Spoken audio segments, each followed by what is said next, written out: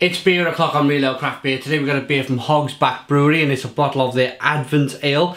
It's coming in at 4.4% ABV. There's a look at the label.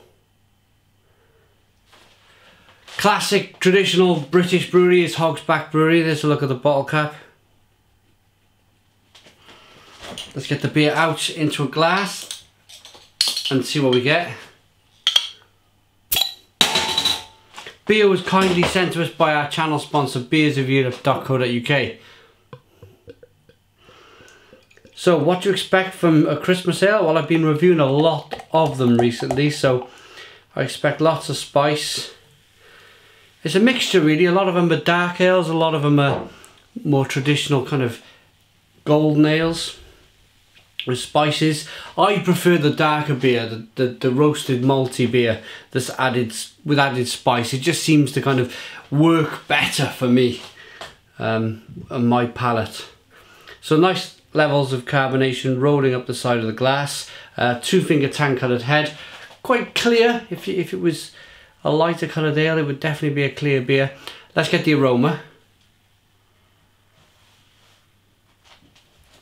Yeah, another Christmas beer. Another spicy, slightly roasted, malty, biscuity, quite sweet Christmas beer. Let's dive into this one. Cheers.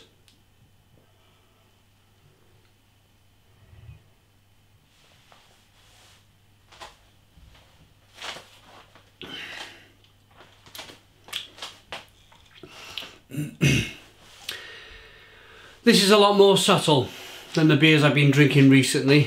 I'm saying recently and I'm talking about this because um, I didn't really have a gauge before of, of because Christmas beers you review them once a year and you, you kind of you drink a few of them and then they all start to kind of you can start to compare one against another one so uh, rather than lots of cinnamon and lots of spice and lots of coriander and lots of ginger uh, this is more biscuity malt. It, it's more of a, a dark mild than anything else.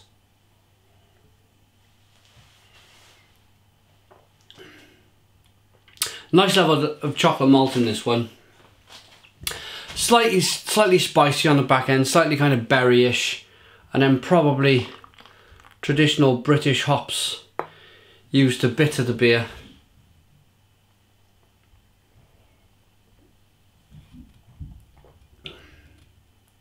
Really drinkable, nice mouthfeel, quite creamy. Yeah, this this for me, this is more of a sessionable drinking Christmas beer. The ones I've been drinking recently, they you kind of you want one beer and then you're ready to move on to something else. With this, I feel in the pub, you really could kind of put three or four of these away no problem at all. With a meal or with some friends, Christmas party beer, this really could be it. It's more of a sessionable brew. It's subtle in its spices.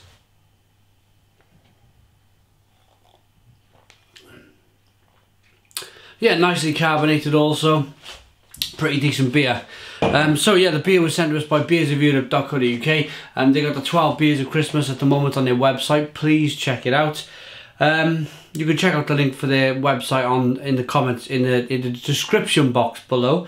Um, this beer is described as a deep chestnut coloured ale, perfect for enjoying by the fire on the crisp wintry evenings of Advent leading up to Christmas. Our Advent ale is brewed with the finest English, English malted barley and local hops and has a refreshing fruity nose, a sweet licorice flavour and a rich dark chocolate aftertaste. Yeah, most definitely. This is more of a for me a dark mild stroke kind of very like porter.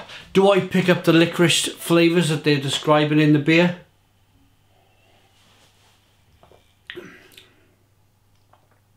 I suppose for me it's a little bit of a vanilla flavour and yeah I suppose at a push you pick up a little bit of licorice. I like it.